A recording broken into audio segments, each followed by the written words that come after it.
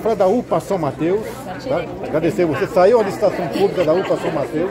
Eu queria que você falasse sobre essa questão. São Mateus vai Laranjeira. para CTA. Estamos trabalhando bastante na saúde. Hoje aqui inaugurando a UBS Cosmopolita. Tem oito UPAs para inaugurar esse ano ainda, mais oito para inaugurar ano que vem. A gente já entregou é, 12 UPAs. Ou seja, estamos avançando, trabalhando. Estou atrasado. Obrigado. Valeu. Valeu.